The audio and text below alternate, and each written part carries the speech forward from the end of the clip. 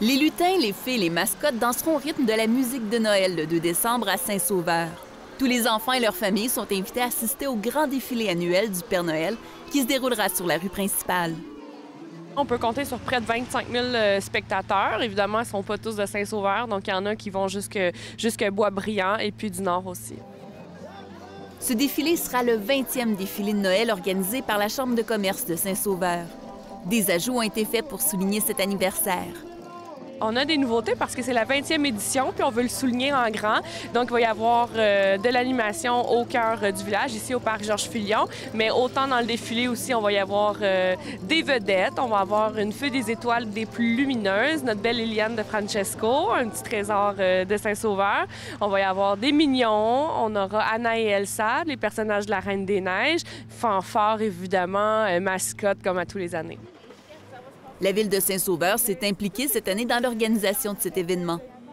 C'est vraiment une activité extraordinaire qui réchauffe le cœur des grands et des petits. Puis nous, on avait envie d'animer un peu les enfants et les grands qui allaient attendre la venue du Père Noël dans le parc.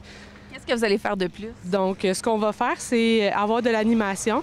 On va avoir des échassiers lumineux qui vont venir euh, vous éblouir par toute leur grande beauté et aussi de drôles de gars des bois qui vont venir vous raconter des histoires cocasses, et ce, dès 16h30, euh, le 2 décembre.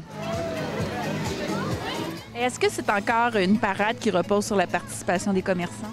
Oui, beaucoup, euh, parce que nous, on, engage euh, comme des fanfares et puis la participation des commerçants, ils ont un frais d'inscription, donc c'est eux qui financent la, la, parade. Donc, ça prend vraiment une participation des commerçants là, si on veut avoir un beau défilé. Oui, exactement. Donc, c'est vraiment un, projet presque communautaire. Il faut euh, se serrer les coudes puis travailler ensemble pour avoir un beau défilé puis offrir quelque chose d'excitant puis de magique pour les enfants. Est-ce qu'on a déjà plusieurs euh, commerçants inscrits? Oui, cette année, euh, on est chanceux. il y en a plusieurs qui ont déjà confirmé leur participation. on a déjà rendu à 20 tableaux. 20 ans, ça, doit être souligné. Donc, on voulait s'impliquer avec, avec la Chambre de commerce. Puis, il ne faut pas oublier aussi euh, le char allégorique que la ville a fait. Euh, les employés ont euh, pensé et réalisé le bénévolement dans, dans le défilé. Pierre, euh, ça fait 20 ans qu'il est euh, à la tête de la Chambre de commerce. Ça fait 20 ans que le défilé a lieu. Fait que pour lui, c'est sûr qu'il y a un effet de tradition.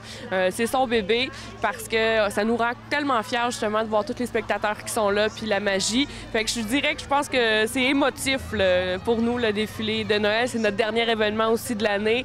Donc, je pense que personnellement, humainement, c'est ce qui nous, euh, nous rend fiers.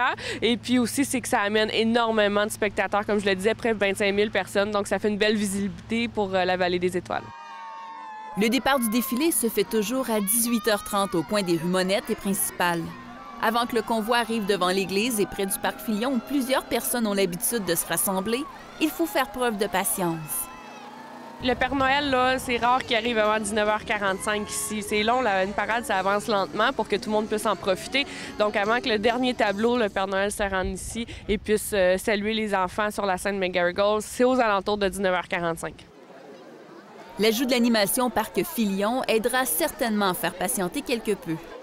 Il fait froid aussi, donc euh, on a prévu d'avoir euh, des foyers extérieurs pour vous réchauffer en attendant la venue du Père Noël. Attention, attention, on ouvre le chemin, on ouvre le chemin, hop,